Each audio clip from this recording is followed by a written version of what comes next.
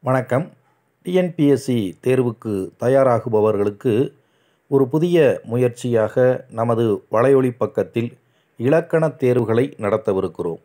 இன்றைய முதல் இலக்கணத் தேர்வில் பத்தாம் வகுப்பில் தரப்பட்டிருக்கக்கூடிய அனைத்து இலக்கணக் குறிப்புகளையும் தேர்வாக நடத்துகிறோம்.